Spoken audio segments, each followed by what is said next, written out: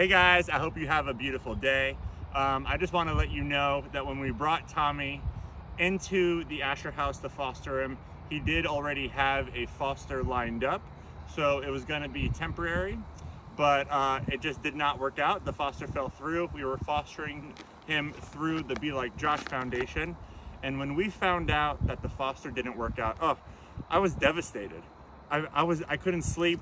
It was awful, you know, but I mean, everything happens for a reason because since that foster didn't work out, we were actually looking for another dog. So we said we're gonna keep my Tommy boy. He's gonna stay at the House forever.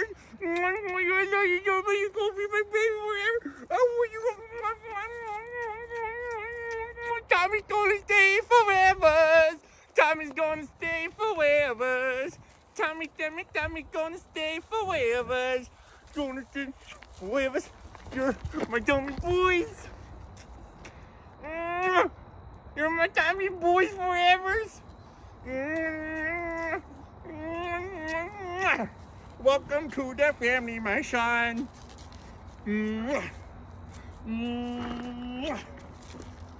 Guys, I want to tell you, English Bulldogs, not supposed to be a dog. I love Tommy so much and I'm so happy, so happy he's my boy forever. This dude has so many issues, man. Like he needs medicine three times a day, which takes up a lot of my time. He needs medicated shampoos twice a week. I have to uh, like rub these medicated wipes through his rolls all over his body every day um, antibiotics all the time. I cannot stress this enough.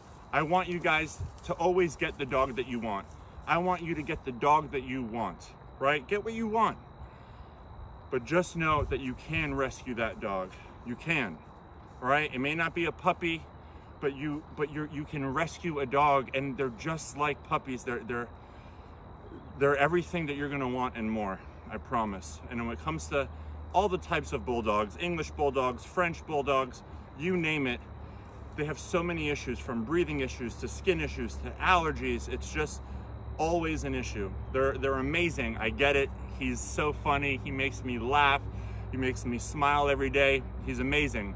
But they do have their issues. So if you're going to get one, please, I, I highly recommend you look into rescuing one first.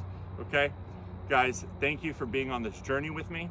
Thank you for the amount of support and love you show me and my family all of the time. And it means the world to me that you continue to trust me and that you continue to support me along this never ending mission and journey.